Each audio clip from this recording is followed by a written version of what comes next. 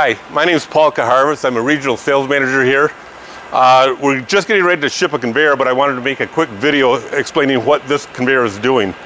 First of all, this is our hybrid line, and our hybrid line is really the whatever you want conveyor. That's not a very eloquent explanation, but this particular customer needed to do a, little bit of an S-turn, so we had to use a radius turn collapsing belt.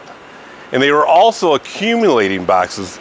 Tim is gonna send a couple up in reality, they're gonna have a gate that comes down to stop these for an inspection. And what we didn't want to do is, as they stacked up, we didn't want a lot of force uh, to be accumulated.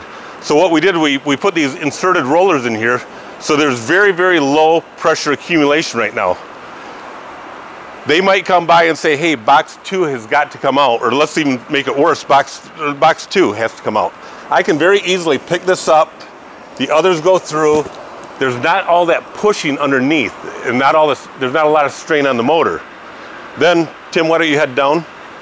And then after they make sure that all their packages are correct, they're gonna open the gate and then, then they'll, they'll all take off. But it, it just goes to show you if you can dream or if you, more to the point, if you have a problem that needs solving, the hybrid conveyor very often uh, meets that need because we can use our, any variety of belt, we can make any shape.